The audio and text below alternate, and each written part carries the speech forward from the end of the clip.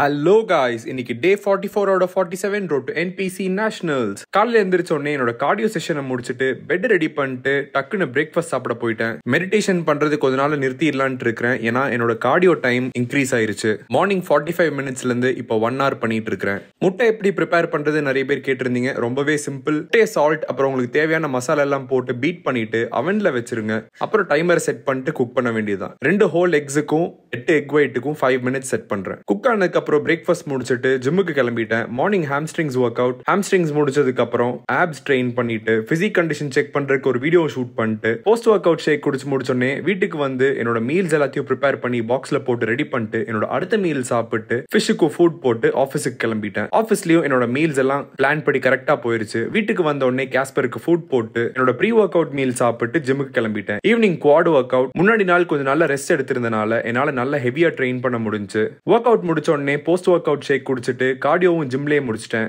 வீட்டுக்கு வந்த உடனே என்னோட லாஸ்ட் மீல் சாப்பிட்டு முடிச்சிட்டு வீடியோவும் எடிட் பண்ணிட்டு அடுத்த நாளைக்கு தேவையான முட்டையை எடுத்து ஃப்ரிட்ஜில் வச்சுட்டு தூங்க போயிட்டேன்.